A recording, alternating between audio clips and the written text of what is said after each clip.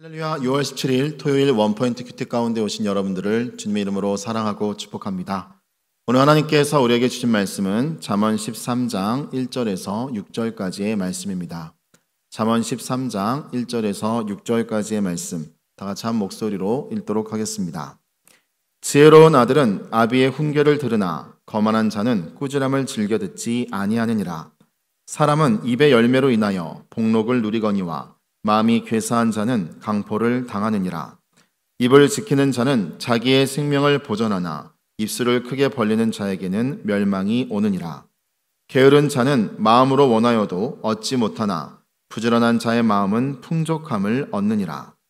의인은 거짓말을 미워하나 악에는 행위가 흉악하여 부끄러운 데에 이르느니라. 공인은 행실이 정직한 자를 보호하고 악은 죄인을 패망하게 하느니라. 아멘. 이 시간 말에 대한 지혜로운 가르침이란 제목으로 담임 목사님께서 큐틴도해 주시겠습니다. 할렐루야. 자, 우리 복된 토요일을 맞이하면서 우리가 잠언 말씀을 통해 말에 대한 지혜로운 가르침을 한번 같이 예, 받고자 합니다. 지혜로운 아들은 무엇을 듣느냐라는 질문을 했을 때 1절에 지혜로운 아들은 아비의 훈계를 들으나 아쿠오 내가 듣는다 하는 말에는 많은 성장이 예비되고 있어요. 어, 여러분 잘 알고 있는 로마서 13장 17절 말씀에 믿음은 들음에서 나고 위로부터 내려오는 음성이 있다는 겁니다. 자, 위로부터 내려오는 음성이 있고 옆으로 들려오는 사람의 목소리가 있고 심지어 음부에서 내려온 저 어, 목소리가 있어요. 우리는 어떤 음성을 듣느냐에 따라서 우리는 우리의 나의 나됨이 결정됩니다. 자, 어린아이가 어떤 정보를 듣느냐에 따라서 그의 사상과 인생 태도가 결정됩니다. 북에서 자란 아이들, 어, 어릴 적부터 김일성 혁명 역사를 성경처럼 읽고 외우고 배웁니다. 그런데 그것이 다 허위라는 사실을 알게 됐을 때 큰 충격을 받게 되죠. 아, 한 번쯤 김포공항에 내리는 순간에 인천공항에 내리는 순간부터 눈이 휘둥그레지고 아, 북한에서 들었던 수많은 민중을 향한 세뇌들이 얼마나 허황됐고 또 그 정보가 70년대 아, 정보도 있어요. 그러니까 지금 2023년도에 정보하고는 전혀 맞지 않기 때문에 사실은 아, 하루아침에 깨어지게 되는데 모래 위에 지은 집과 같은 것이지만은 그러나 30년을 속아 살고 심지어 50년, 60년을 속아 사는 분도 있어요. 진리를 듣기까지에는 그 어, 거짓된 정보 속에서 그 정보의 포로가 되어 내 세계관이 왜곡되어 있다 이 말입니다. 이 땅을 사는 우리도 똑같이 그렇습니다. 무엇을 듣느냐가 중요한 거예요. 아비의 훈계라는 건 자녀를 사랑하기 때문에 아비가 자기의 체질도 알고 자녀의 약점도 압니다. DNA가 같은 아비는 자녀의 약점을 자기가 걸어왔던 길이기 때문에 압니다. 그걸 경고할 때는 귀 듣는 법이 필요해요. 선생들의 말을 들어야 되고 선배의 말을 들어야 되고 무엇보다 인생의 큰 로드맵을 가지고 계신 하나님의 음성을 들어야 됩니다. 이게 지혜입니다. 그래서 중고등부 때부터 하나님 말씀 잘 듣고 집중하는 아이들 인생의 미래가 굉장히 아름답게 보이지 않습니까? 듣지 않는 아이에게 오늘 자기 생각, 자기 욕심대로 충동대로 이끌려가는 삶에는 미래가 암담하게 보일 뿐이에요. 가보지 않아도 죽음의 길이 있는 것이고 하나는 생명의 길이 있는 것이죠. 그래서 복 있는 사람은 악인의 길을 쫓지 아니하고 죄인의 길에 서지 아니하며 오만한 자리에 앉지 아니하고 오만 자리는 듣지 않는 자리입니다. 오직 여호와의 법을 즐거워하며 그 율법을 취하러 묵상 듣는 자의 태도. 오늘도 성경을 사랑하는 사람에게는 인생이 열리게 돼 있어요. 거만한 자는 꾸지럼을 즐겨 듣지 아니하느니라. 항상 모든 면에서 선배가 있습니다. 선배의 경험은 소중한 나의 유산이에요. 그 유산을 잘 받아 누릴 줄 알아야 어떤 영역에서도 빨리 적응하고 나도 그 분야의 전문가가 될 수 있어요. 그러므로 듣는다는 태도, 배운다는 태도에게는 겸손함이 깔려 있어야 됩니다. 자, 오늘 성경은 2절에서 6절을 통하여 우리가 입술을 어떻게 관리하느냐. 자, 이사야 57장 1장에서는 하나님은 입술의 열매를 짓는다. 이 열매를 가지고 하나님은 우리를 심판한다 이겁니다. 네?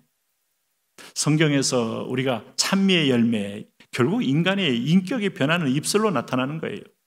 우리가 말 한마디로 사람을 무너지게 하고 말 한마디로 흥하게 한다는 말을 들어 하지만 입술 몇 마디가 이 나불대는 것 정도가 아니고 사실은 인격이고 삶이기 때문에 말 한마디가 그의 쌓아왔던 철학과 생각을 그대로 대변하게 되는 겁니다.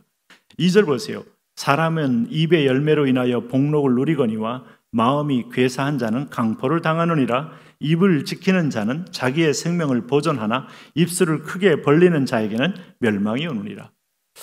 자, 입술을 크게 벌리는 자, 자기 생각과 주견을 너무 강하게 주장하는 자의 속에는 하나님의 음성과 뜻을 듣는 것보다는 나의 생각, 나의 욕심, 나의 어떤 어, 야망을 펼치는 쪽에서 주장이 커지게 되는 순간에 멸망이 온다는 말로 우리는 해석할 수가 있어요.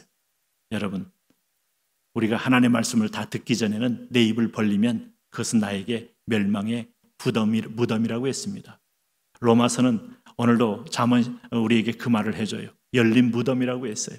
하나님의 음성 듣지 않고 내게서 충동대로 소욕대로 정욕대로 아니면 내 이드가 시키는 대로 말하는 것은 멸망의 무덤에서 나오는 그 저주 덩어리라고 했습니다. 사망의 세력입니다. 무덤 속에서 시체가 썩으면 온갖 거긴 전염병의 원천이 될 수 있습니다. 결국 그것이 바깥으로 나오는 순간에 여러 사람을 해치고 공동체 전체를 죽일 수도 있어요. 잠언 16장 23절 말씀 보면 지혜로운 자의 마음은 입술을 슬기롭게 하고 또 그 입술에 지식을 더하느니라 이런 말을 했습니다. 그런데 저나 여러분이나 우리가 왜 말에 실수가 없겠습니까? 그런데 입을 지키는 자 그래서 사도 바울을 내 입술에 파수꿈을 비록 내 마음에 완전히 내 마음이 성화되지 않았어도 말을 할 때는 필터링을 몇 번을 거치게 하는 것이 참 중요하다. 이런 지혜를 줍니다. 그래서 파수꾼이 따로 있는 것이 중요하다. 내 마음 상태는 날마다 요동치고 있으니 충동대로 또 정욕대로 말하는 것은 매우 위험하니 마지막 입술로 나갈 때는 파수꾼을 내 입에 붙여주옵소서. 이 기도를 하라는 겁니다. 자기 생명을 보존하나 입술을 크게 벌리는 자에게는 멸망이 오느니라. 아, 여러분 뭐 우리가 에스더서에서도 어, 모르드게가 아, 왕궁의 정문을 지키는 수의대 가운데 있다가 거기서 어, 모반하는 소리를 듣지 않습니까? 결국은 그가 낱말은 뭐 새가 듣고 반말은 뭐 쥐가 듣는다. 우리 속담이 있듯 시간에 내가 입을 벌리는 순간에 들려지게 돼 있고 그 들은 것 때문에 그것은 실패할 뿐만 아니라 그 말을 했던 사람들은 바로 목 처형 당하게 돼 있지 않겠습니까? 그러므로 이게 참 이 말이라는 것은 오늘 참 중요한 것이다 하는 얘기를 또 강조하는 거죠.